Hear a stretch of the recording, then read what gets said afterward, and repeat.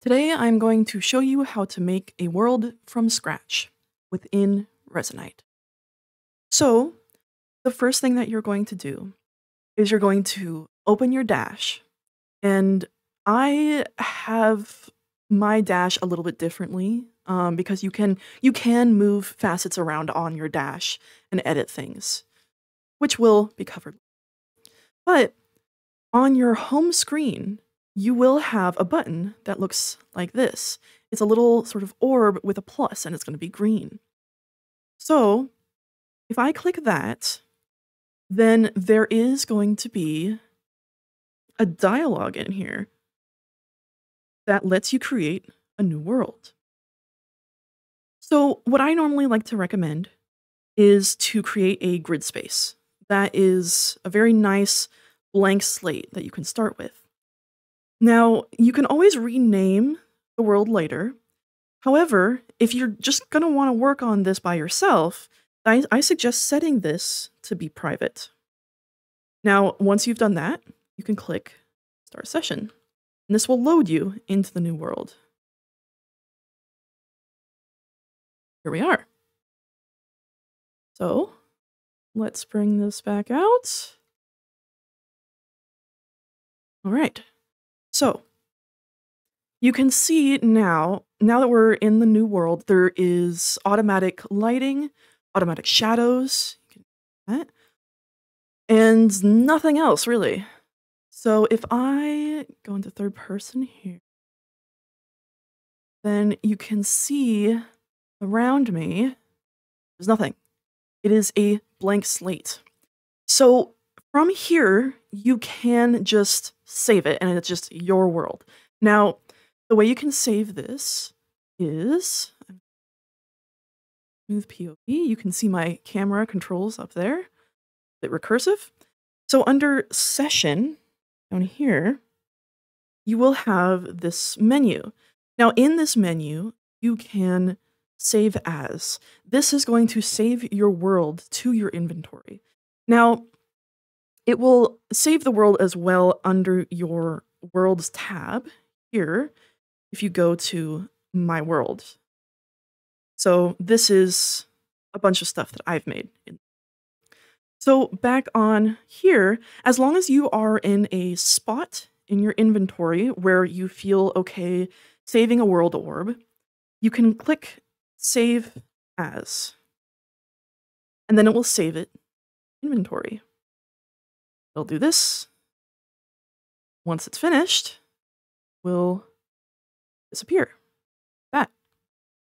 And then as you make changes to this world, however many changes you make, you can use this button, Save Changes, to save it to that same world orb is created. So that will not make two worlds. Saving changes just saves the change to that world that you've made. You can see up here, syncing bar. Once it's reached 100%, uploading asset variants, all synced. Once it says all synced, you know that it has been thoroughly saved. Now, there are a bunch of options here that you can select. And there are some options here as well. So say that you want to bring some friends to this world say you have made it like a contacts plus world and you want to bring the world orb to a different session and say, hey guys, you should totally come here to my world. Well, once you have made it uh, contacts or contacts plus or public enough, then you can click the get session orb. So now this you can bring to other places and have people come to this world by double clicking on this orb.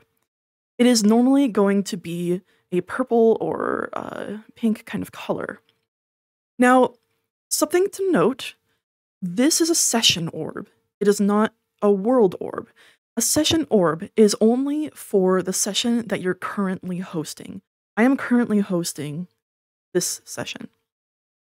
So if I wanted a world orb, so somebody else could perhaps save this world, First of all, you'd have to have the correct permissions. So you can change the permissions of your contact, of a visitor, anything like this. And by the way, once you set these, they will save when you save changes as well. So, things, I can get world orb. Now, this world orbs are going to generally be yellow like this.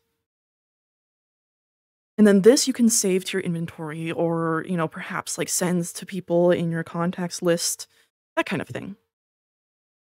But I can just delete it for now. I don't really need it. And it doesn't delete the world if you delete the world orb. I can show you how to delete a world in just a minute. So, something about building worlds you don't necessarily need to know how to use an inspector or tools to build a world. You can spawn things out of your inventory. So let's see, if I delve into my inventory a bit, I do have world items, assets, like furniture. So say I wanted a cool place to sit for me and my friends. And I'll put it away from spawn since I don't want to clutter up spawn. It could make things a little bit laggy. So now I have a nice little chair. and I didn't even need to open an inspector for that.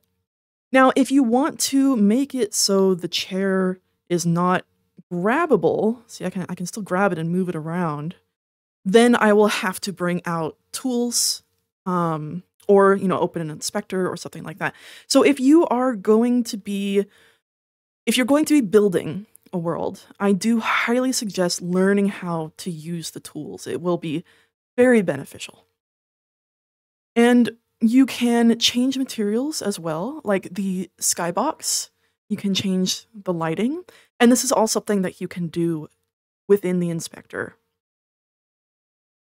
For example, if I bring out a skybox, because maybe like maybe I don't like, you know, how this looks. It's just sort of plain. Maybe I want something fancy. So I have a skybox here.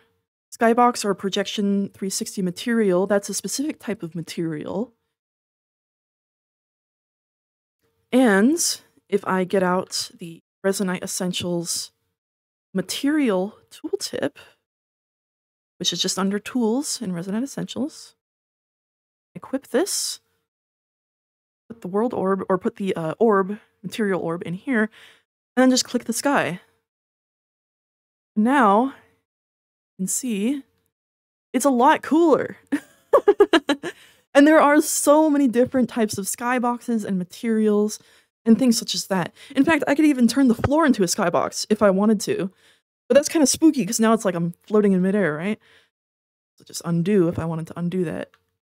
So when it comes to building a world, that is